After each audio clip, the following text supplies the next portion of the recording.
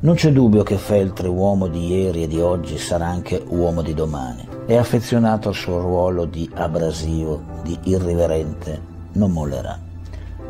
E poi cosa farebbe senza la gente, senza quei lettori che si fidano di lui, della sua chiarezza e della sua onestà, e che sono, come Feltre dichiara, i suoi padroni. Se lo dice Farinotti rischio anche di crederci, però non del tutto.